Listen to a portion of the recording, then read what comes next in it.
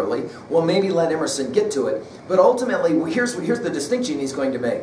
You can have sympathy or simply say out loud, I don't like the evils of the world. But that is not good enough at all. That is going to be his argument. Help those who are actually in pain with real action and not just with some kind of altruistic talking or words. That at least is one reading of this. Another reading of this is just that Emerson is flat out wrong. Um, and of course, we had to fight a civil war to make sure, to prove that Emerson here is flat out wrong. They, they love afar, or thy love afar is spite at home. In other words, he says, rough and graceless would be such greeting, but truth is handsomer than the affectation of love. In other words, there is real love and then there's faking love. I think maybe one of the arguments he's making is that people were getting caught up in the abolitionist movement as simply a movement, and they were giving lip service to the idea that slavery was wrong. And I think this upset probably Emerson. In other words, he says, I want real action. I want someone to stand up and have a real opinion for himself. Don't just tell me you're against slavery because that's what everybody else says. That's at least a charitable reading of these lines. As I said, guys, Seriously, this is a very controversial. You're, you're normally in a high school anthology, for example, not going to get the lines we just read. They're usually edited out, right? We'll keep reading, right? Rough and graceless would be such a greeting, but truth is handsomer than the affectation of love. Your goodness must have some edge to it, else it is none. The doctrine of hatred must be preached as the counteraction of the doctrine of love when the pules, uh, when that, when that pules and whines I shun father and mother and wife and brother when my genius calls me. I would write on the lintels of the doorpost, when? Well, this is obviously very, very controversial. He continues, There is a class of persons to whom by all spiritual affinity I am, brought, I am bought and sold. For them I go to prison if need be. But your miscellaneous popular charities, the education at college for, of fools, the building of meeting houses to the vain end to which many now stand, alms to sots, and the thousandfold relief societies, though I confess with shame I sometimes succumbed and gave the dollar, it is a wicked dollar, which by and by I shall have the manhood to withhold. Now, this sounds, of course, very much like our reading of Ayn Rand's Fountainhead, and of course Atlas Shrugged, the, the critique of altruism. In other words, there's somehow a moral obligation to get involved in charitable acts when your heart is actually not in it at all. It's what you are expected to do, and so you do it. For uh, uh, uh again, for uh, for Emerson, this is a serious problem. Paragraph number eight, he says, "My life is not an apology." He says, "It is a life. It is for itself." Not for a spectacle. I wish to be, he says it, sound and sweet. Now, we think, of course, of Thoreau the minute we read lines like this. Paragraph number nine, we, um, we, we meet this one, uh, a famous, famous set of lines, becoming even more controversial. How do you live a, uh, live a unique life? Here we go. Paragraph nine. What I must do is all that concerns me, not what the people think. This rule, equally arduous, in actual and in intellectual life may serve for the whole distinction between greatness and meanness. It is the harder because you will always find those who think they know what is your duty better than you know it. Some of you will have to smile and think about the adults in your life who are always telling you what to do, right? It's easy in the world to live after the world's opinion. It's easy in solitude to live after our own. But the great man is he who in the midst of the crowd keeps with perfect sweetness the independence of solitude. Wow, this is compelling stuff. Uh, I've, I've often said in my lectures on American thought that one single mantra, if I have to reduce all of American thought down to a single mantra, is don't tell me what to do. That notion is born heavily right here. Uh, in other words, the argument is, I don't need you telling me my duty, because then that makes me a follower of you. And even if you're right, I need to come to it in my own way and in my own time. It's a very interesting 3B question to ask, and even though we're not quite finished, let's begin to ask some of these questions. Has your education, your formal education, been an education that teaches you to make up your own mind, to find your own duty? That's an interesting question. Think about that one and maybe go for a walk later and kind of posit whether you think You've been challenged to come to your own duty, or more particularly, have you been waiting for somebody to tell you what to do all of the time? What do great workers do? And employers will always say this about a good worker. What is it that he or she will say, well, when this student is working for me and runs out of something to do, she doesn't sit there waiting for me to tell what you got it. She jumps up and goes and finds something to do. In other words, to be independent and not dependent, not reliant upon somebody else to tell you what your duty is. Of course, he says it. There's always somebody who's ready to tell you what's wrong with your life. And the minute you look at their life, you go, dude, what's, what's up with you? I mean, you got all kinds of problems yourself. What are you telling me? Remember what we said earlier about Emerson. He genuinely believes this. You have to leave the world a more awakened place than you found it. However, that happens first by taking care of yourself, and then you can help others. Paragraph 10 begins with this one. The objection to conforming to uses that have become dead to you is that it scatters your force. We're back to this notion of power. It loses your time and blurs the impression of your character if you maintain a dead church, contribute to a dead Bible society, vote with a great party either for the government or against it, spread your table like base housekeepers under all these screens, I have difficulty to detect the precise man you are. But do your thing, and I shall know you. Do your work, and you shall reinforce yourself. Wow. A man must consider what a blind man's bluff is this game of conformity. It's a powerful paragraph as well.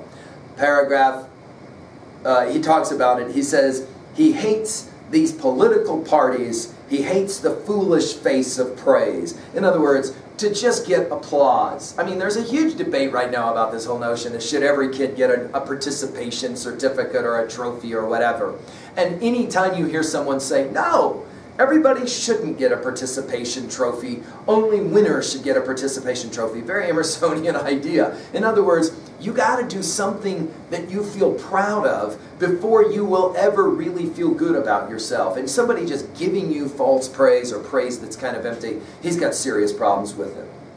Paragraph 11, he says nonconformity is hard. You got to get accustomed to society's sour face because you're going to do some things and say some things that people are not going to necessarily agree with. This is, of course, Emerson as his iconoclastic self. That's that first permeation that we said we have to see for Emerson. Now, don't get this wrong. Emerson was beloved of a large number of people, but he had the ability to really torque off people. Much like Socrates, we think of Emerson, who's this cat who can kind of buttonhole people and start asking them questions and make them very, very uncomfortable. Many have seen paragraphs 12, 13, and 14 as really, in many ways, the second heart of this of this essay. Let's just take a look at all three of those paragraphs. They're quite short. The other terror that scares us from self-trust is our consistency. In other words, keeping, keeping some kind of, uh, of rhythms consistent a reverence for our past act or word because the eyes of others have no other data for computing our orbit than our past acts, and we are loath to disappoint them. In other words, we're always worried about what people think about us because we know that they remember our, that they remember our past actions, and then they might make judgments about us. But, paragraph number 13, but why should you keep your head over your shoulder? Why drag about this monstrous corpse of your memory, lest you contradict somewhat you have stated in this or that public place. Suppose you should contradict yourself. What then? It seems to be a rule of wisdom never to rely on your memory alone, scarcely even in acts of pure memory, but to bring the past for judgment into the thousand-eyed present and live ever in a new day.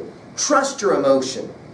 Now, let's just pause for a moment. This notion of trust your emotion is really controversial for all Platonists because you'll remember in Republic that Plato says Socrates, of course, say it, that you have to have wisdom, reason, which will govern emotions and desire. That is the tripartite view of the human for Plato, and wisdom reason has to be the one running the show. Remember the word picture of the chariot. But here, instead of reason being what's in control, emotion. Trust your emotion. Now, how exactly is it that Emerson gets away with this? Again, it goes back to his Platonic understanding. If you are living focused on that metaphysical second box, your emotions will then be pure. They won't be driven by that sensuality of the first box. If you don't understand that distinction, Emerson kind of works off of the assumption that you will understand that distinction. If you don't understand that distinction, then a lot of this is just too controversial to accept. Trust your emotion. In your metaphysics, You have denied personality to the deity. And that is to say, for, uh, for Emerson, the idea is simple. If you think of God as energy, then you cannot think of God as some kind of heavenly father sitting up in the sky who loves you right? That just doesn't work for Emerson because his view is that if you think of God as a God of love who loves people, then you have to think of God as a God of hate who will send certain people to eternal damnation. And for Emerson, he just cannot buy Dante's Inferno at that level. So here he will say, if you are a believer in the second box, then you cannot have this notion of a personal deity. Yet, when the devout motions of the soul come, yield to them heart and life, though they should clothe God with shape and color. In other words, in loving yourself, you are loving deity because you are deity. Again, not that puny ego of the first of the first box, but that soul, spirit, energy, consciousness that is the second box. He continues, leave your theory as Joseph is caught in the hand of the harlot and flee. Of course, a story from the Bible as Joseph was in temptation and a young uh, woman wanted to sleep with him, and instead of sleeping with her, that is to say, giving into the first box, he ran away, even though it cost him a long time in a prison down in a dungeon. And then finally, passage 14, which many have, have qualified as the most quoted of all of the lines of self reliance. Of foolish consistency is the hobgoblin of little minds, adored by little statesmen, statesmen, statesmen and philosophers and divines. With consistency, a great soul has simply nothing to do. He may as well concern himself with his shadow on the wall. We're thinking here, of course, Plato's cave allegory, right? Out upon your guarded lips. Sew them up with packthread, dew, corpse, in other words. Else, if you would be a man, speak what you think today in words as hard as cannonballs, and tomorrow speak what tomorrow thinks in hard words again, though it contradict everything you said today. Ah, then, exclaimed the aged ladies. He loves his insults. You shall be sure to be misunderstood. Misunderstood? Exclamation point. It is a right fool's word. Is it so bad then to be misunderstood? Pythagoras was misunderstood, and Socrates, and Jesus, and Luther, and Copernicus, and Galileo, and Newton. That's quite a list, isn't it? And every pure and wise spirit that ever took flesh. To be great is to be misunderstood. Now, I've had many students who read this essay with me who are stunned that that's not the last line of the essay. They assume that was the last line of the essay because often in anthologies, if this essay has been in any way edited, this is usually the last line of the essay. To be great is to be misunderstood. Of course, we are here only at paragraph 14. We got 50 paragraphs total of this essay. So there's a whole lot of essay left, and I think it's important that we point that out. However, let's just point out here. This idea of consistency is one that we have to understand. Emerson is not saying that you should not have sustained will. Not at all. It's clear from all of his essays that he argues you need sustained will. But notice it is a foolish consistency, is the hobgoblin, right? In other words, just doing the same thing over and over without thinking about it. Go back to our lectures on Plato and the apology of Socrates. The unexamined life is not worth living. Emerson will be arguing then don't just tell me what you do repeatedly, repetitively, but think about why you do those things, and then we can begin to see that you are a true individual. Paragraph 15, he says it. Nature, he says, teaches us. No man can violate his nature. We're thinking here again of our Plato. And the way he says it is this way In this pleasing, contrite wood life which God allows me, let me record day by day my honest thought without prospect or retrospect, and I cannot doubt it will be found symmetrical, though I mean it not and see it not. In other words, if you trust yourself as a writer, as an artist, you will find symmetry. My book shall smell of pines and resound with the hum of insects. We think of Thoreau here, don't we? The swallow over my window shall intervene, shall interweave that thread or straw he carries in his bill into my web also. He loves nature and concrete symbols of nature. We pass for what we are. Character teaches above our wills. Men imagine that they communicate their virtue or vice only by overt actions and do not see that virtue or vice emit a breath every moment. This idea then that everything we need to know can be derived from our study of nature and our passion, our, our love of nature. Paragraph 16, he talks about the harmony of nature. This beautiful word picture about the zigzagging of a ship. It's quite a, it's quite a remarkable um, idea that he plays with. The voyage of the best ship is a zigzag line of a hundred tacks. I, I love that picture. In other words, if you had a bird's eye view on a ship, it doesn't sail straight. It moves back and forth, just like our life is. In other words, instead of worrying so much about always being dead on straight, understand that your life moves and meanders, kind of like a river. So it's a, it's a nice word picture. He says that greatness always appeals as well to the future, and virtue, he says, is timeless. Paragraph 17, he says it this way I hope in these days we have heard the last of conformity and consistency. Let the words be gazetted and ridiculous hence, henceforward. Instead of the gong for dinner, let us hear a whistle from the Spartan fife. He loves, of course, this reference to Sparta, as Plato did, because it's more direct. I went to the woods, uh, Thoreau will say in Walden, I went to the woods because I wished to live deliberately, and then he talks about the essentials of life. And then he says it, I wanted to live, uh, live deep and suck out all the marrow of life to live Spartan-like.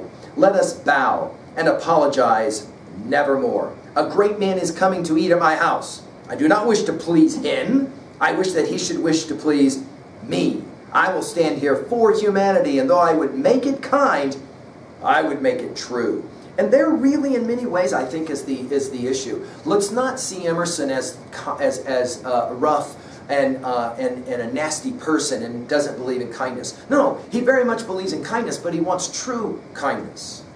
I mean, think about it this way. If somebody compliments you and that somebody doesn't actually believe in the compliment, do you really want that compliment?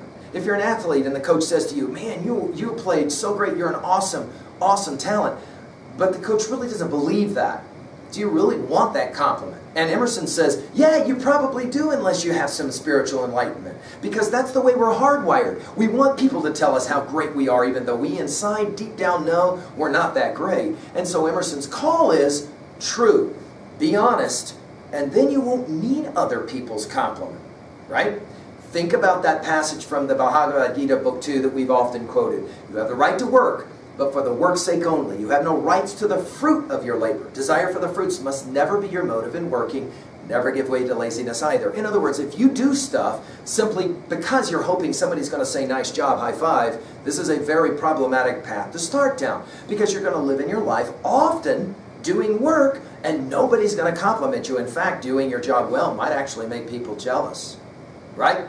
And in that moment, you're going to have to deal with a whole different kind of project. Well, he says it in paragraph 17 as well. Every true man is a cause, a country, and an age. Requires infinite spaces and numbers and times fully to accomplish his thought. And prosperity seemed to follow his steps as a progression. And then he talks about what we call the worship of the great man theory. This idea is, the idea is that behind all great movements, there is a great person. And he gives, of course, a list. Luther is in the list. Doesn't shock us that Milton is in the list. And all he's saying here, and by the way, this is the conclusion of the first part here, is that if you look at history, great people have driven history, right? And to that degree, he will finish the first part. And now we move on to the second part, self-reliance and the individual himself. In the first 17 paragraphs, he's talked about why self-reliance is important. And now he's ready to go to work with it. Paragraph 18, he begins with a famous fable. It's a popular fable, he says, of the sot, that is to say the drunk, of the sot who is picked up dead drunk in the street, carried to the duke's house, washed and dressed and laid in the duke's bed, and on the waking, treated with all obsequious ceremony like the Duke and assured that he had been insane. It owes, this fable, owes its popularity to the fact that it symbolizes so well the state of man, who is in the world a sort of sot, but now and then wakes up, exercises his reason, and finds himself a true prince. Now this is a very, very famous, of course, idea. The individual, for example, who wanders around all his life looking for an incredibly rich diamond and then finally dies after giving his whole life to looking for it and then feels his coat and there sewn inside is a diamond that would have made him a millionaire many times over. He had it all the time and didn't realize it. This is the argument that's being made here, paragraph 18. Paragraph 19, he says, Our reading and our study turns us into, too often, worshipers instead of inspiring us to greatness ourselves. I think this is a this is really important reason why you should read this this essay because Emerson says you got to be careful when you go to school and, and you're asked to read because if you're not if you're not careful you will begin to assume that all of this reading is so that you can see that there are great people who have lived before you and that's all that you see. Emerson is going to say there's nothing wrong with reading but allow your reading to inspire you to greatness, you to try and be better. Right? Uh, paragraph 20 he says, all men should consider themselves kings or great men. In other words, again, just kind of following in the same line of thought. Paragraph 21, he talks about the aboriginal self. That's, a, that's an interesting term that leads to spontaneity, right, and instinct. It's the fountain of all action. Now, exactly what is he talking about? We're back to our two-box theory again. In other words, the fountainhead, to use Ayn Rand's title of her novel, the fountainhead of all great action is that second box, the recognition that you are not just a body, but you are also energy. You are a soul. You are a spirit. You are consciousness. You are energy. Energy which cannot be created or destroyed. And if you are that, then you are something more than your body. And if you are that, then you can have perception or insight, as he talks about it in paragraph 21. He says this perception is a fact like the sun, and we immediately think, of course, of Plato's Republic, Book 7, the cave allegory, when the young, emancipated, educated, meaning educated, young man comes out of the cave, he sees the light of the sun, and the light of the sun is the true, it is the good. Paragraph 22, we continue, and he says it, it lives now the power of the present is his argument here. And, um, we'll, and we'll read now, he says, If, therefore, a man claims to know and speak of God and carries you backward to the phraseology of some old, moldered nation in another country, in another world, believe him not. Is the acorn